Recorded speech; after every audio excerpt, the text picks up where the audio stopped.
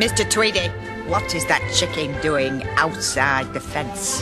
There, any hen who fails to produce enough eggs, And then there for the chop. their many escape attempts are foiled by the greedy Mrs. Tweedy, played by Miranda Richardson.